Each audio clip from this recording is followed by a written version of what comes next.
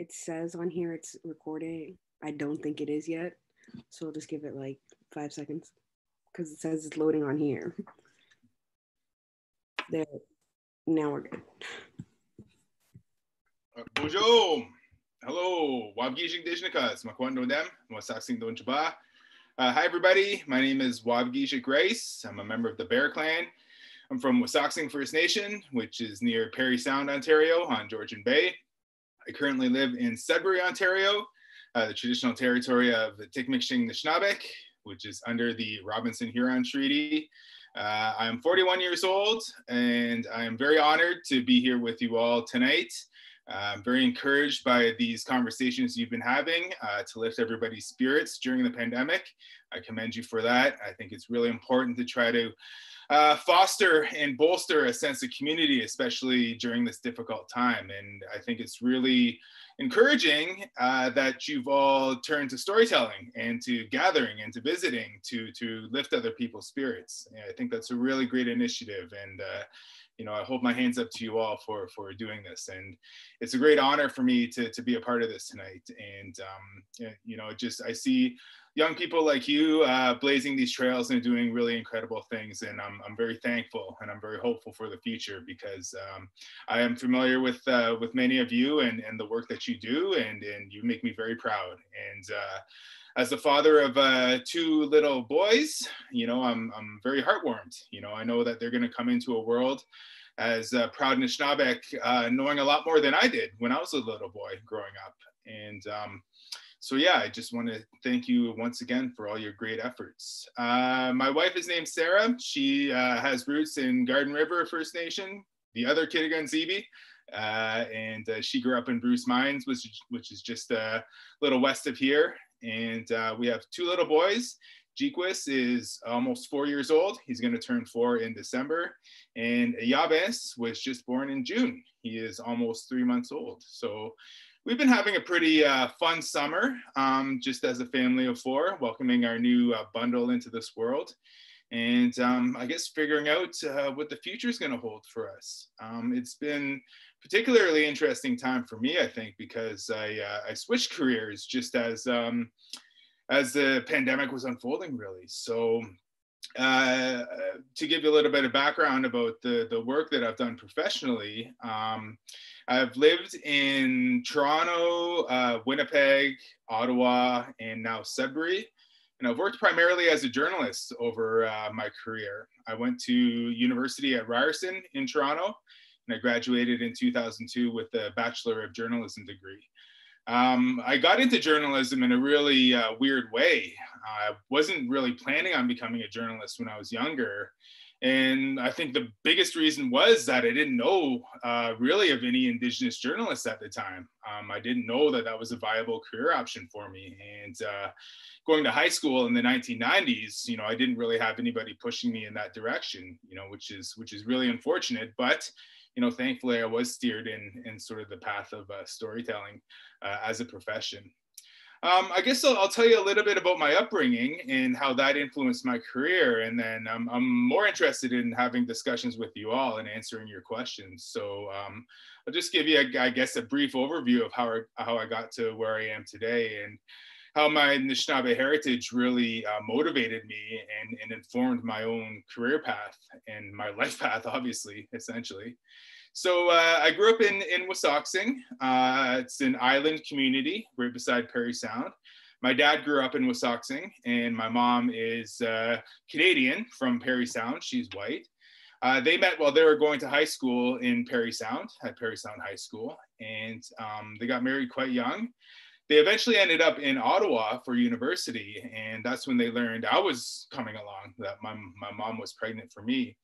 Um, so they were in their, their early 20s by then, and they made the decision to move back to my dad's community because uh, they wanted to raise their kids in an Anishinaabe environment. And they essentially dropped out of university to do that. And uh, they made a huge sacrifice um, for me and my brothers, I think. You know, looking back, it was probably a huge decision and, and very scary for them. But they uh, they did that and they built their own house uh, on the reserve. And uh, shortly after that, I was born. So uh, I was born in 1979, so right at the end of the 70s. And as I was growing up in the 80s, you know, I was pretty fortunate to experience, I guess, um, a reclamation of Anishinaabe traditions and a reconnection with some of those ways of life. Um, there was a lot of um, I guess healing that uh, was happening back in the 1980s, and that was after decades of uh, some serious tragedies and traumas. You know, as a result of being a colonized and displaced people. You know, um, when you're traditionally uh, traversing the shoreline of Georgian Bay for time immemorial, and then you know the white people come in and say you gotta you gotta leave here and you gotta live on this island now that's going to be hugely devastating right so that's what happened after the uh, robinson huron treaty was sort of enacted once canadian confederation happened in the latter half of the uh, 18th 19th century sorry and um, our people were displaced from what is originally Parry Sound now out to this island. And um, I talked to my grandmother about this, and I, I mentioned this story a lot. Um, you know, she explained that very much as the end of the world for our people as Nishnabek, right? She heard those stories from her grandparents about how they were basically uprooted from the lands that they traveled for millennia and then were just left to try to farm on this island and, and try to make a living. So it was devastating. And then uh, the main industry that happened in Parry Sound after that was logging. So, you know, they were sitting on this island looking over to the mainland where they used to live and all the trees were getting cut down. So then after that, you know, like they were confined to the island, they weren't allowed to leave. And then alcohol was introduced to the community. Uh, kids were starting to be apprehended to go to residential school and so on. And, you know, all the uh, other byproducts of the Indian Act that forbade culture and everything like that just had a hugely devastating impact on, on our community, as it did in every other indigenous nation on this continent, right? But after you know decades of, of these traumas and tragedies, uh, people got together and decided that they wanted to reconnect to being the Anishinaabe, and that's when I grew up. I was fortunate to be a kid at a time when powwows were coming back into our community. Ceremonies like sweat lodges were happening once again. And um, I was really, really fortunate. You know, I look back to that time and that made me who I am today. And the bigger thing that impacted me, I think, was the storytelling, you know, the oral tradition of the Anishinaabeg of carrying on traditions and, and laws and histories through the spoken word right? And having that communal experience of, of sharing which you know you've all been doing every week this summer which is uh, which is really awesome. So that's what really connected me to my culture. And and uh, i knew storytelling was gonna root me in who i was for the rest of my life. And I, I feel really fortunate that i was able to make that connection at that age so I went through elementary school. Um, our school, our cohort, like the kids my age, were the first ones who went all the way up through grade eight uh, on the res school. And um, as a result, you know, culture became an important part of the curriculum.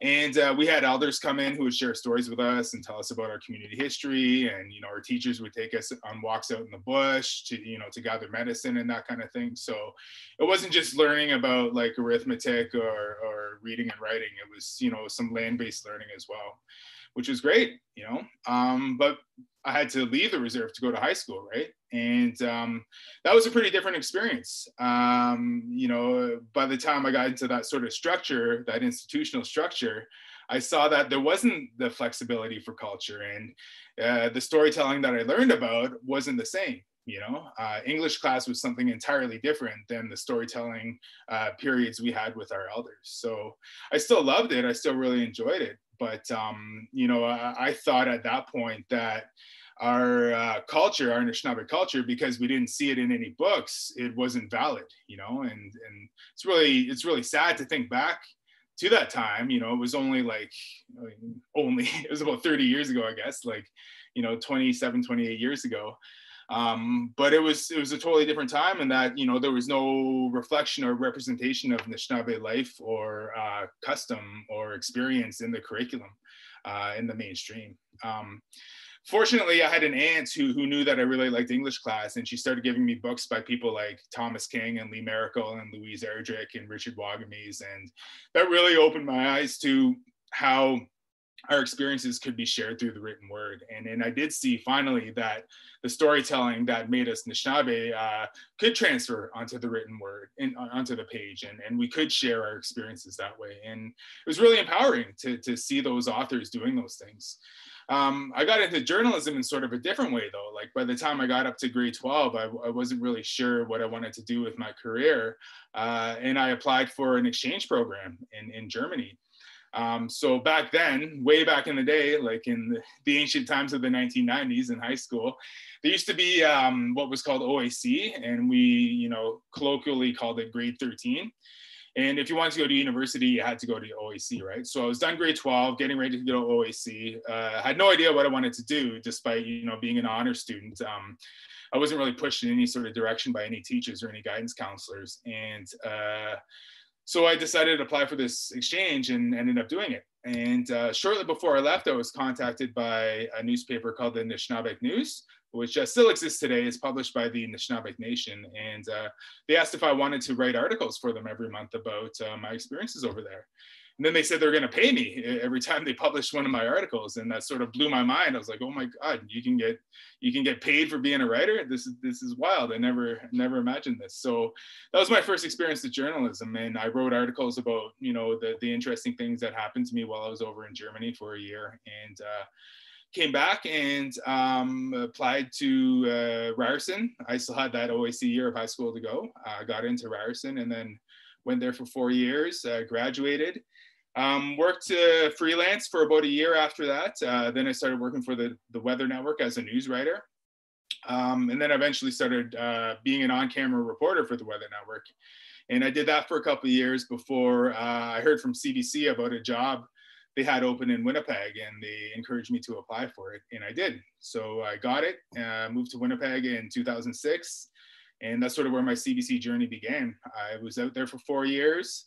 I got homesick, so I wanted to move back to Ontario to be closer to home. I went back to Toronto for a little while to work at CBC there, but then a job opened at CBC in, in Ottawa, which was uh, a little more favorable for me at the time um, because I had some family in, in Ottawa as well. So and that's where I met a lot of you in Ottawa. And I know a lot of you are based there. And, and um, I'm really thankful that we still have these connections because uh, living and working in Ottawa was a really special time for me um, for many reasons. You know, I had, I had good experiences at CBC, but I also met my wife, Sarah, there. Um, and uh, and yeah, so I was there until 2017. Um, a job opened up here in Sudbury, and we'd sort of been eyeing Sudbury for a while because it's uh, sort of in between where we both grew up, and you know we thought this would be a good place to raise kids. So I applied for the job at CBC here. I eventually ended up taking on another job as uh, the afternoon host uh, for uh, the radio show um, for Northern Ontario and I did that for a couple years. Uh, but then, you know, all along, uh, I had this this literary career sort of on the side, uh, writing books. And uh,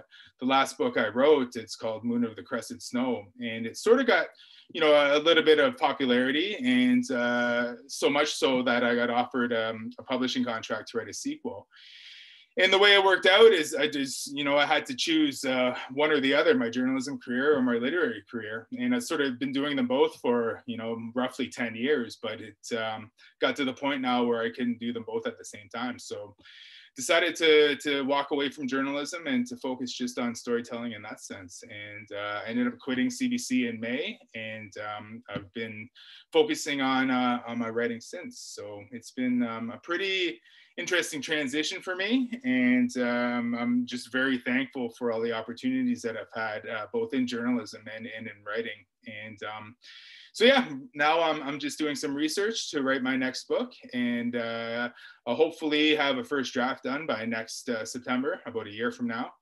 And then hopefully it'll come out about a year after that. We'll see. That's sort of, uh, it's a bit of an accelerated timeline, but if everything goes well, we should be able to stick with it.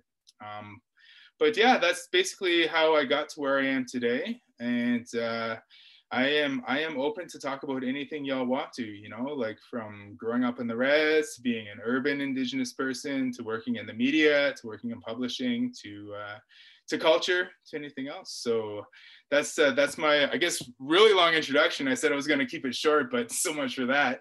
Um, but uh, yeah, just Chimigo again for the opportunity. So yeah, let's just uh, let's chat for the the next half hour or so. Oh, and I'm drinking water. I didn't. Uh, my wife Sarah asked me if I was going to get tea, but I didn't uh, have enough time to put it on. But water is good enough. Perfect. Yeah, I drink water for every tea and chat, so. Um, okay, so what was it like working in a corporate environment like CBC? Good question. Overall, it was good. Uh, overall, I had great experiences. I, in journalism, I was able to grow as a storyteller. I was able to fulfill my goals as a journalist and um, I, I, I really I think grew as a person. But as you all are probably familiar with, you know, when you're one of uh, very few people, uh, if not the only person from a particular community in a corporate environment, it's really hard. It's tough. And uh, from the beginning, I, I, dealt with a lot of, I guess, ignorance, um, a lot of um, pushback here and there, uh, a lot of, I guess, just complacency from the superiors, you know. Um, and um, it's interesting now to really talk about this because um, there is uh, a greater spotlight being put on systemic racism in basically all sectors, which is really good. And, and full credit to the Black Lives Matter movement for getting that conversation going um, it's it's really tragic that it took the death of George Floyd to to really get these conversations happening, but they're they're happening unlike they ever had before. And it is everyone's calling it a moment of reckoning, especially in the media, right? Like a lot of uh, corporations are really uh, looking inward and and this discussing ways of, of confronting the systemic racism that thrives within their systems for years and and it's good it's good that you know the last few months have have seen um, these conversations happen and some change happen. I think change is obviously very slow, but um, you know, there's no way that they can't uh, go back to how it was before. You know, like the the industry has has changed and.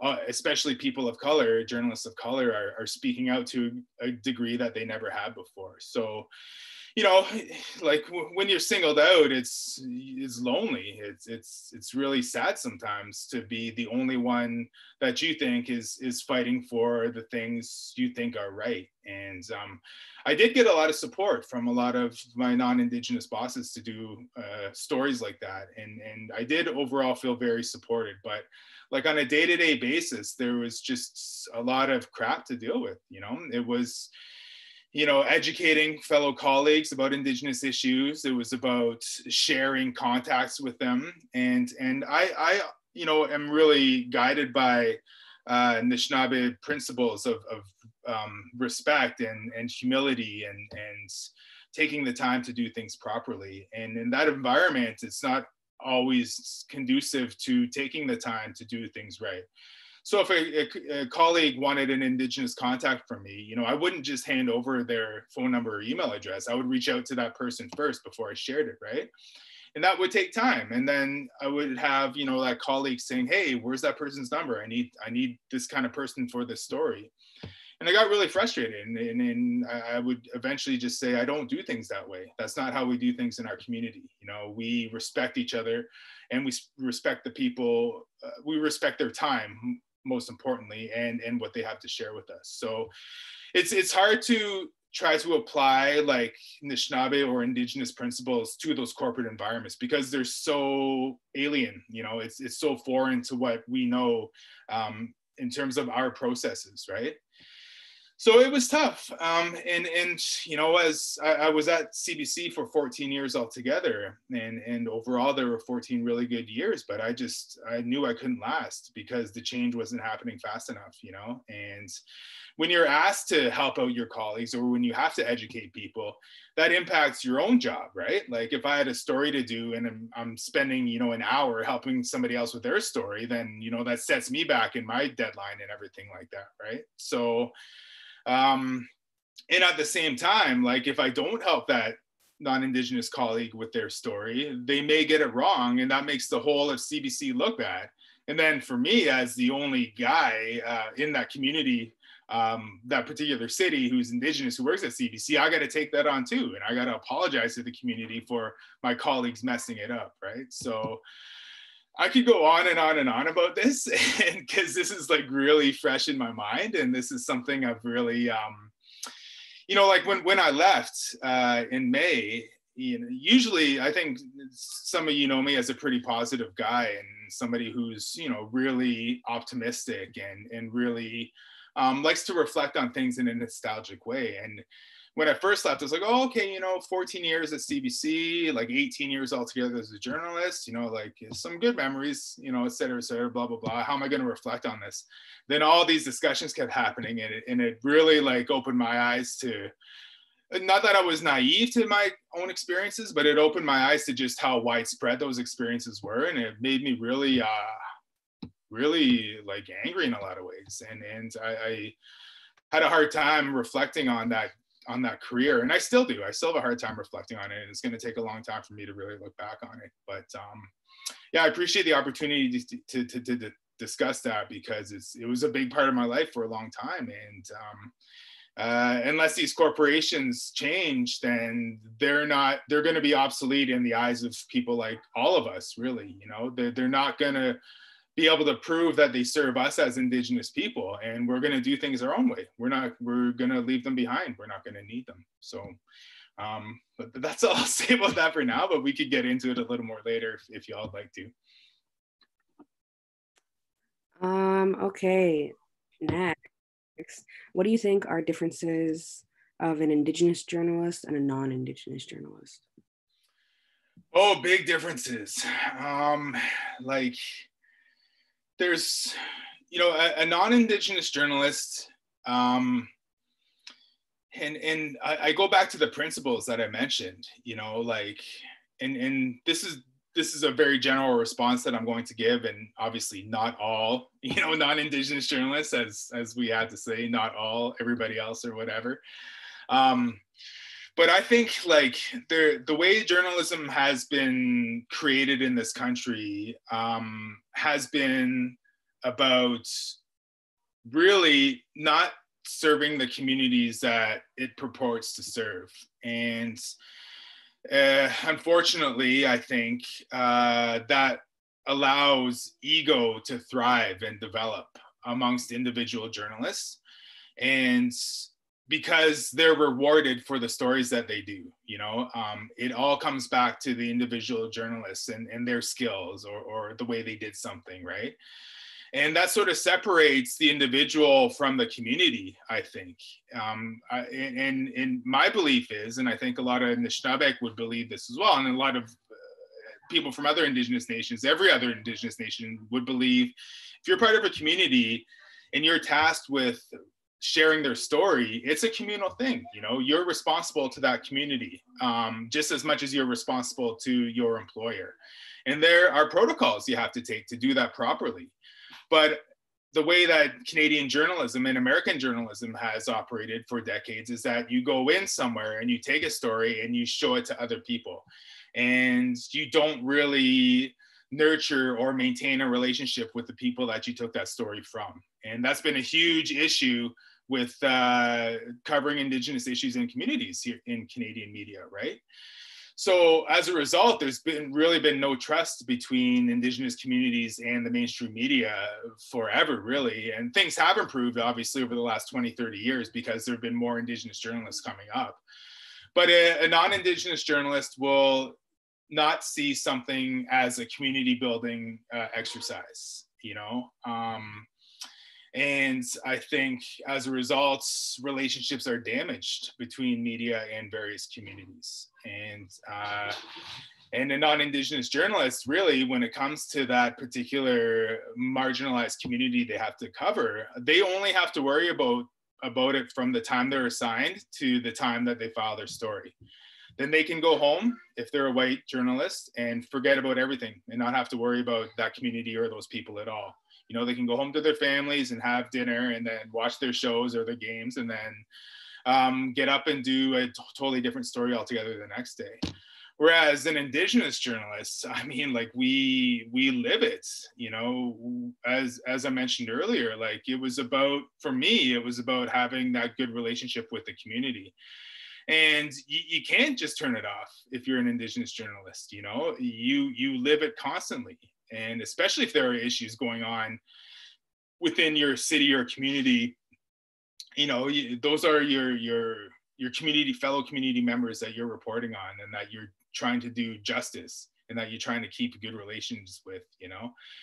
So an indigenous journalist lives it constantly uh, bears the burden of fostering that good relationship and really has to weather the damage of uh, that's created by non-indigenous journalists right? So and that's just like on a day-to-day basis. Um, i think the path to journalism is much more difficult for indigenous journalists. Uh, you know when i went to ryerson i was only one of two indigenous journalists in in my program and uh, the other indigenous journalist had sort of um, just recently discovered her uh, their indigenous roots right? So i was the only res guy in there and uh, of course i had to answer every question about uh, anything indigenous related as as i'm sure some of you are familiar with right? In in these classroom settings where there are very few of you. So that was a grind and um, you know coming up through that and then getting your first jobs in journalism um,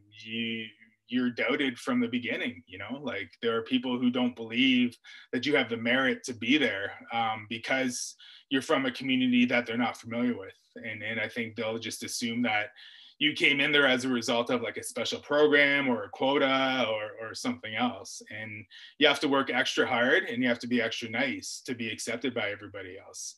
And as soon as you rock the boat they'll try to squeeze you out of there and uh, it's really a difficult game of survival. And i learned that really early on you know that i was it was a long haul that i had to do on my own.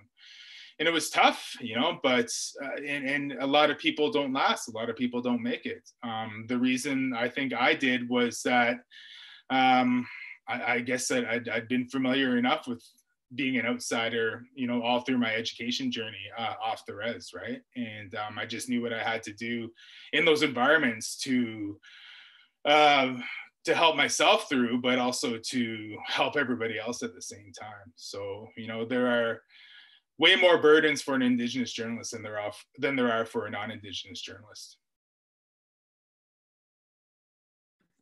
All right, perfect. Um, so, another question How did you start writing The Moon with the Crusted Snow? Like, how did that begin?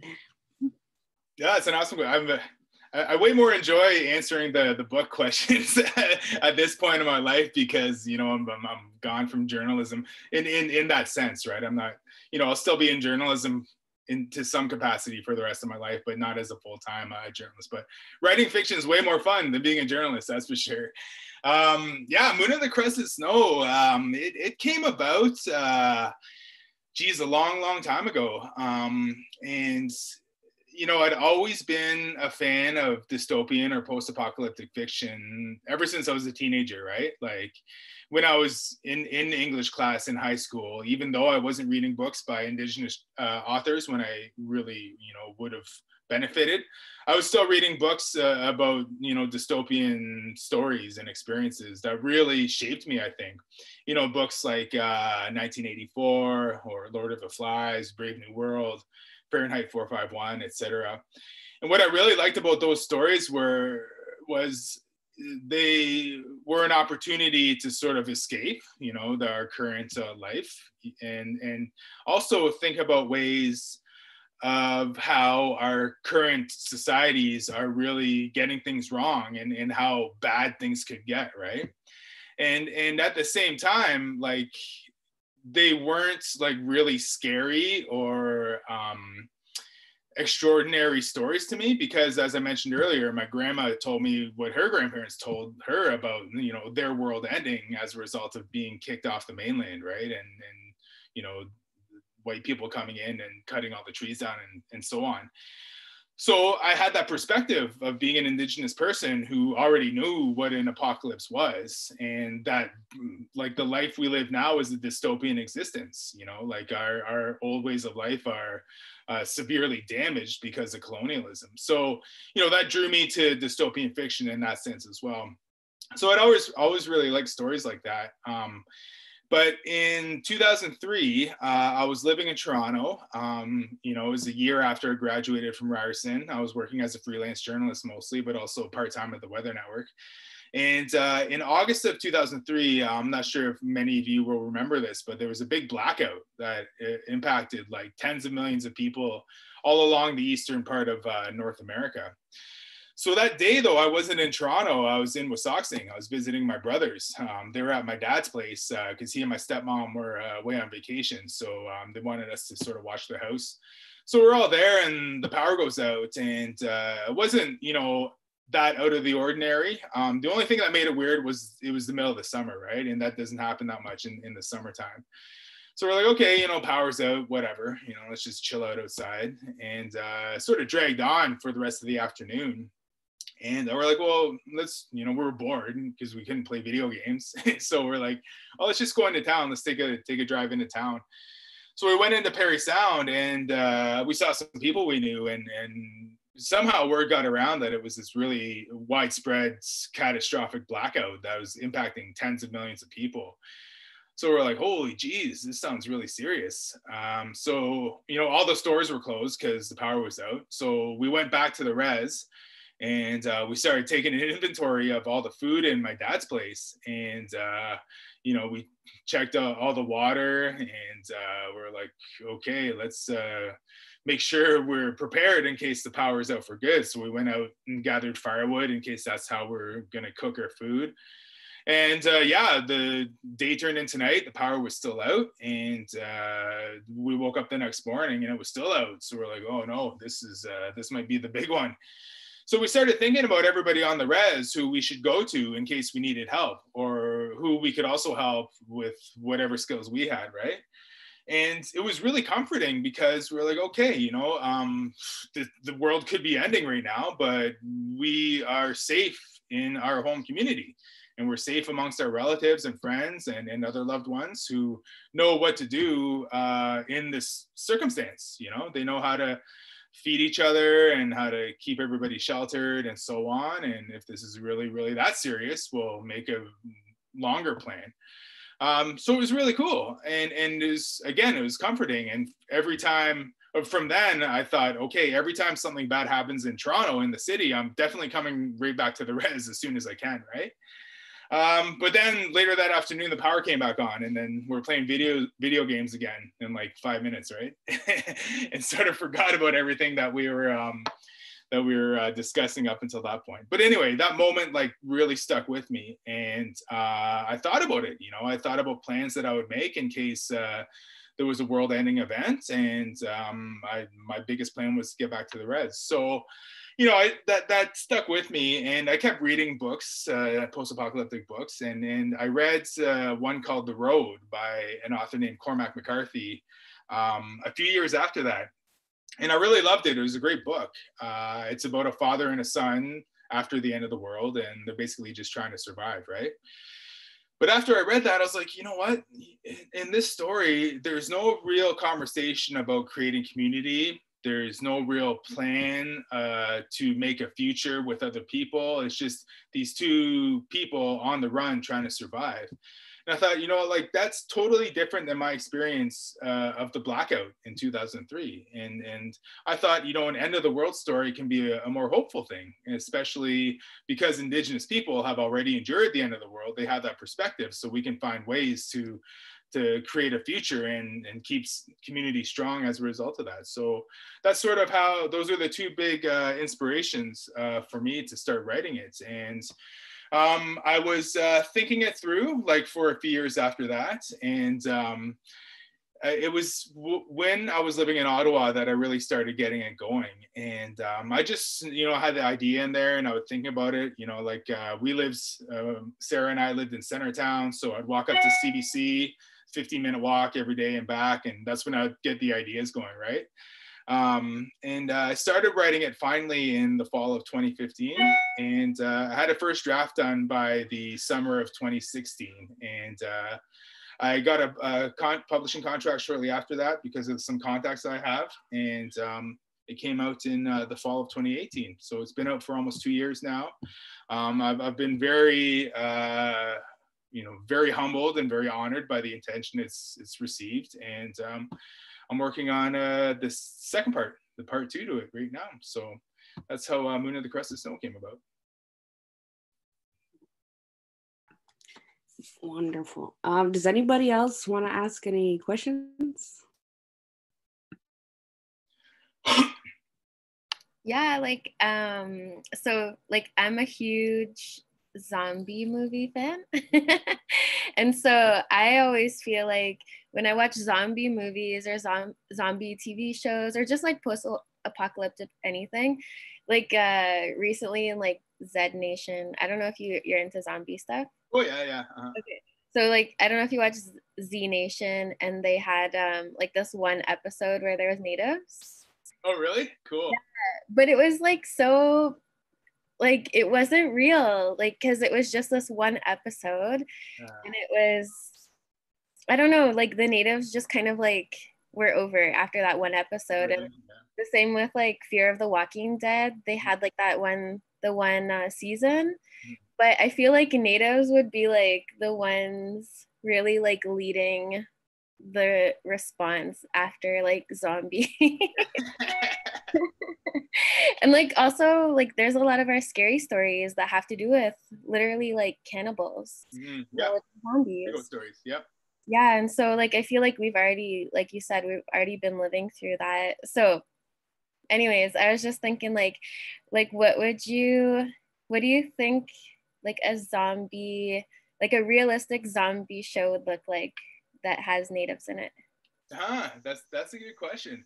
I, I totally agree with you. Like even with The Walking Dead, and and that was what I really wanted to get across The Moon and the Crust of Snow is that like it's a, a community response to something like this, right? But a show like that uh, just has like one or two heroes, which which again, as you say, like I find that kind of unrealistic, right? Like not just one it's always a guy you know? It's, it's not just one guy who's to save us you know? Like that that's kind of bs um, but um, yeah, I think it'd be it'd be cool to see uh, a series or some sort of ongoing like graphic novel with natives as the as the protagonist, right? And there's Blood Quantum, of course, Jeff Barnaby's film that came out recently. That's that that's great. It's like right up, uh, it's right in that genre, and I think it's a really great film in that sense. But yeah, I agree. There's an opportunity to to go a little wider with that, especially like in a series or something a little more ongoing and and just to like broaden that discussion a bit i i think that's why uh, as indigenous people you know we um, can rightfully stake our positions in basically any genre whether it's zombie uh, movies or tv shows or romantic comedies or crime thrillers or whatever else right? Like you know the mainstream gaze on us is for a long time has been just about oh let's let's see this movie or read this book again about indians overcoming their trauma or, or, or whatever else. And those are really really important stories. And those are the stories that really got us to where we are today.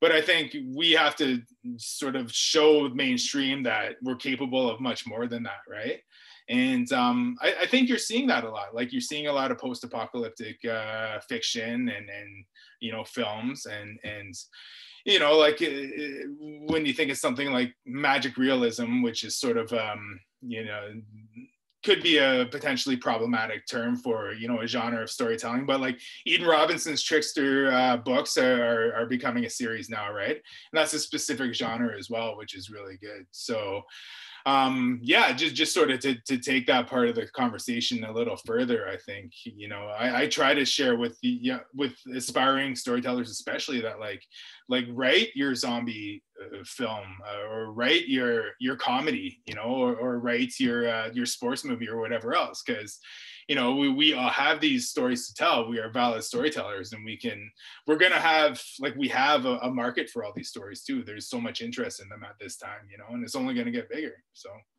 yeah thanks for bringing that up. It's really cool gabby. Does anybody else have a question?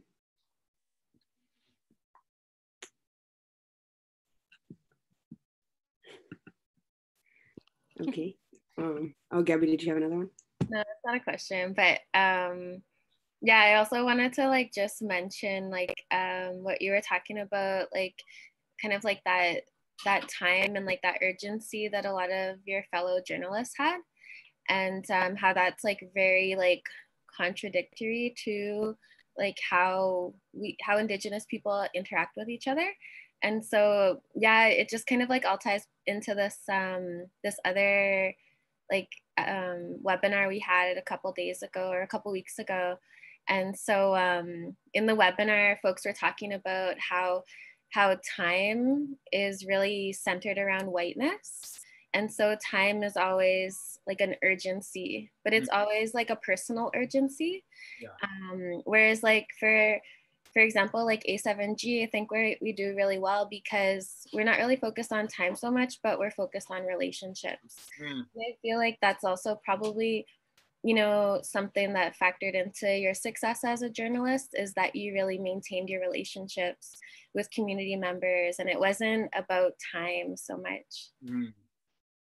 Yeah, thanks for bringing that up. Um, and and th- th- that's the thing that we're all wrestling with no matter what sector we're in right? Like we're in a capitalist regime that was created by colonialism you know? And uh, it's all about making money. It's all about exploiting resources. And as a result time sort of caters to that. Time sort of empowers that exploitation you know? And and for for journalists or or just for or grassroots organizations that are trying to take the time to do that like external forces that you know have more influence than us are, are trying to manipulate us by holding time and money over our heads you know? And um, I'm, I'm i'm encouraged when i see these discussions happening because you know like we're not going to put up with that you know forever you know? We're, we're going to do things the right way. And that's why i really like what you all are doing. And and um, and ultimately that's one of the reasons why i wanted to get out of journalism because you know, uh, by the end, as I was do- being a, a, radio host, um, like, sure, it was great in that we had a little more contextual conversations rather than just news stories, but still, they were confined to like five, six minutes. It's like, okay, let's cover everything in five, five to six minutes, right? And and I would get so frustrated in that, especially if I was talking to you know uh, an elder or something like that. I'd be like, you know, they're just getting started, you know, and we got to end this. And it's because, uh, you know, this corporation that I work for is governed by time and money, and we have to squeeze everything into this particular window. Um, so yeah, you know, that that's why I, I even if I did have to um, rush things, as as unfortunate as it was, I made sure to circle back with people to uh, make sure that that relationship was good and and like apologize to them sometimes for saying oh sorry that i had to rush out of there because i have this you know silly deadline at like five o'clock or whatever right? So um, yeah you know that's uh, and again you know just seeing what you all are doing and and sort of making your own space and playing by your own rules is is excellent. And i think um, you're great role models for a lot of young people and and really showing them that there are other ways you know? There's not just the one way to do things. And i think we're seeing more discussions like that happen. And and again you know with two two little kids growing up and seeing that uh, you know leaders like yourselves are shaping the way for them it's uh, really encouraging. And i'm really happy about that All right, well, it is 6.57. Um, we're gonna close it off. Thank you so much for coming uh, from all of us who watched these after too. Um, it was really great tea and chat, great way to end off the summer tea and chats. Um, so Miigwech for sharing with all of us. Miigwech, appreciate the opportunity, everybody.